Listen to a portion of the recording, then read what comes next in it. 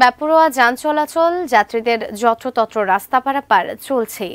এ বিষয়ে মাওয়া express highway থেকে জানিয়েছেন সহকর্মী ফেরদৌস রহমান।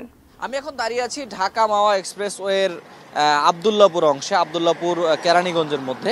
এখানে পথচারী পারাপার নিষেধ। আমার পেছনে একটা সাইনবোর্ড রয়েছে, এক্সপ্রেসওয়েতে পথচারী পারাপার নিষেধ।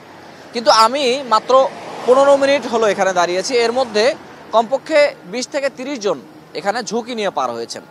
তাদের সাথে কথাও হয়েছে। তারা বলছেন যে এই জায়গাটিতে এই পাশে হচ্ছে জনবসতি রয়েছে, এ পাশে একটু বাজার মতো রয়েছে, কাজেই মানুষকে যাতায়াত করতে হয়। কিন্তু ওভারব্রিজ, যেটি ফুট ওভার ব্রিজ অর্থাৎ জনগণের পার হওয়ার জন্য যে ফুট ওভার ব্রিজ করা হয়েছে, তার সবচেয়ে নিকটতম যে ফুট ওভার ব্রিজটি সেটাও এখান থেকে প্রায় আধা কিলোমিটার দূরে। তো কেউ যদি পার হতে চায়, তাকে নিশ্চয়ই এই আধা কিলোমিটার হয় হেঁটে যেতে হবে। না হলে রিক্সায় যেতে হবে বা অন্য কোনো যানবাহনে যেতে হবে। যে কারণে তাদের একটা বড় ধরনের যুক্তি হলো, ঝুঁকি নিয়ে তারা পার হচ্ছেন।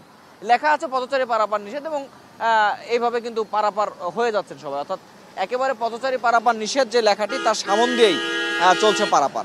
তাদের কথা যে ফুট ওভার ব্রিজ থাকলে এই জায়গাটিতে পারাপার তারা হতেন না। যদিও এটা কৈফিয়তের বিষয়ে, যেখানে ফুট ওভার ব্রিজ রয়েছে, সেখানেও আমরা এরকম চিত্র পেয়েছি যে মানুষ ফুট ওভার ব্রিজ রেখে তার নিচ দিয়েই অনেক ঝুঁকি নিয়ে হেঁটে পার হচ্ছেন।